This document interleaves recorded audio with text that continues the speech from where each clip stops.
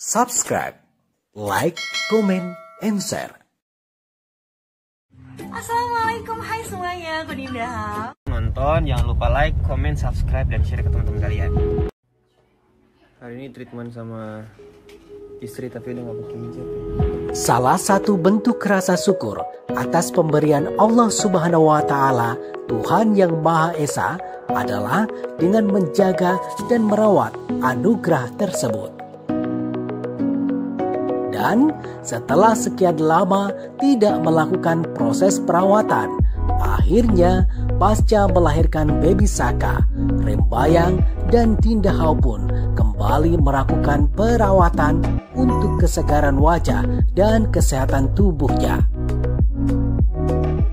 Karena masih dalam masa pandemi, keduanya pun melakukan perawatan di rumah. Tak tanggung-tanggung, kali ini tak hanya berdua saja, Dinda Hau dan Rembayang pun melakukan perawatan sekeluarga bersama sang mama.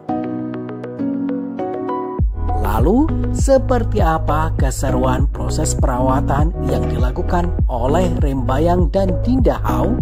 Yuk, intip video selengkapnya. Eits, tapi sebelum nonton lebih lanjut, subscribe dulu channel ini dan aktifkan tombol loncengnya ya. Karena kabar seputar Dinda Hau dan Rembayang akan selalu ada di sini. Like ya.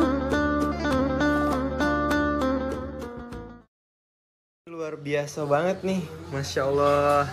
Jadi sekarang back clinic udah bisa home service. Jadi kalau misalnya mau treatment tapi takut karena banyak virus, bisa bawa ke rumah. Gokil.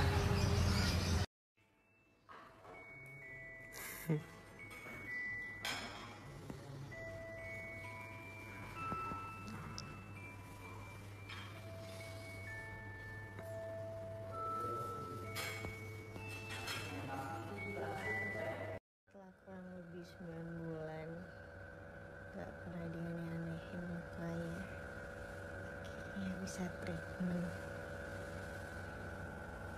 Mana dia? Yang Yo. Asik ya di rumah doang. Si treatment. baru tahu kalau di Back Clinic bisa home care. Oh, Begitu dari pandemi ya? kemarin. Lagi treatment di rumah. Jadi istri gue mana ya? Mbak. Jadi ternyata baru tahu kalau back clinic tuh bisa home service. Nah, pas banget lagi corona kayak gini. Jadi nggak nggak kucel-kucel amat ya mbak ya. Nah, sekarang lagi diapain mbak? Lagi mau facial lebih glowing kak? Di glowing. Tadi mama udah, cici udah, mama Wati juga udah. Sekarang giliran kita berdua. Mantul.